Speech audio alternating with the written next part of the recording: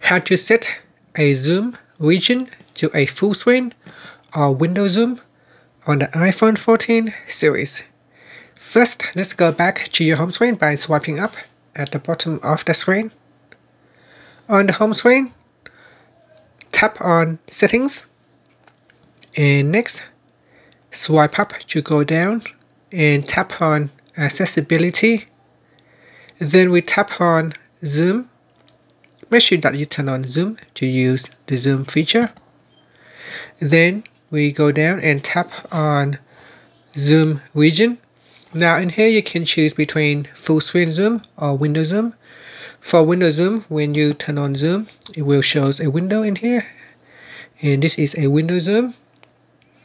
And if you choose full screen zoom, then it will zoom on the whole screen instead of so we'll show us the whole screen instead of a window zoom. And you can see I can zoom in or zoom out by tapping on the screen twice with three fingers.